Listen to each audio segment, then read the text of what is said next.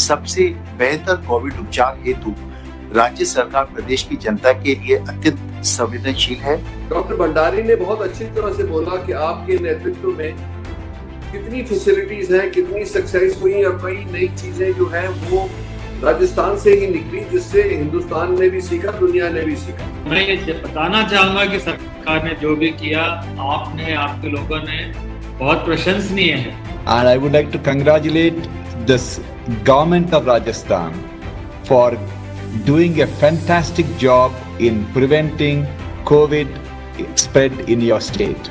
Covid 2019 मृत्यु दर को कम करने एवं रिकवरी दर बढ़ाने हेतु राज्य सरकार द्वारा हर संभव प्रयास किए जा रहे हैं ये भी बोला कि राजस्थान ऐसी जगह है कि हमें अगर जो कुछ तकलीफ़ हो गई तो उसकी सारी सुविधाएँ उपलब्ध है Sir, you produced a model called Bilwara model in preventing early stage coronary uh, the, the COVID disease, which became an example for rest of the country to follow.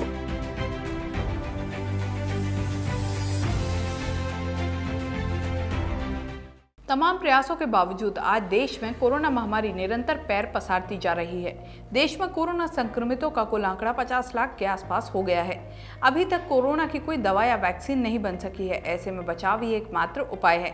लेकिन इसके बावजूद लोग लापरवाही बरत रहे हैं और सरकार की ओर से जारी कोरोना गाइडलाइंस की पालना नहीं कर रहे हैं। इसे देखते हुए राजस्थान की गहलोत सरकार ने फैसला किया था कि देश के नामी चिकित्सकों के ज़रिए लोगों को कोरोना के प्रति जागरूक किया जाएगा।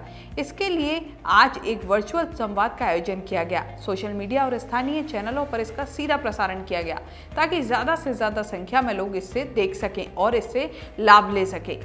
प्रदेश की 8000 से अधिक ग्राम पंचायतों पर इस कार्यक्रम से लोग जुड़े। इस वर्चुअल संवाद के दौरान doctor Naresh Trehan, doctor S K Sarin, doctor Devi Shetty और डॉक्टर राजा बाबू और डॉक्टर सुधीर भंडारी जैसे चिकित्सक विशेषज्ञों ने कोरोना महामारी और इससे बचाव को लेकर अपनी बात रखी। इस संवाद का लाखों की संख्या में प्रदेशवासियों ने लाभ लिया। वहीं इस दौरान चिकित्सकों ने राजस्थान सरकार के कोरोना मैनेजमेंट की तारीफ़ की। अभी जो कुछ हमारी कह रहे थे कि जो नाम चीन जो डॉक्टर्स हैं देश के, प्रतिष्ठित हैं, डॉक्टर नरेश त्रियान जी हों, चाहे देवी शेट्टी जी हों, हमारे अपने डॉक्टर शिव सरीन हों इन सबको तकलीफ़ दी गई है, जिससे कि पूरे प्रदेशवासियों को भी।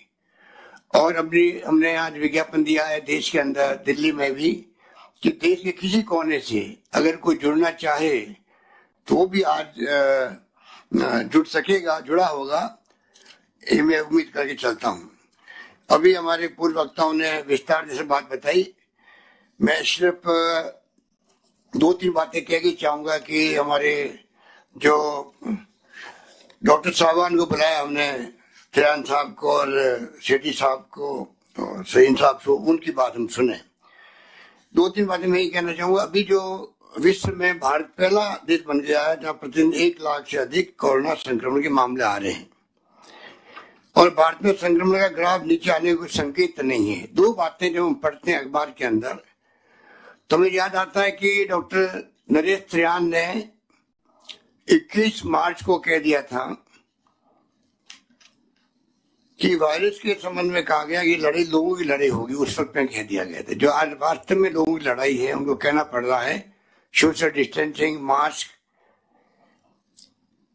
के साथ में सावधानी बरतें, अपने आप को बचाना हो तो स्वयं आगे आना पड़ेगा।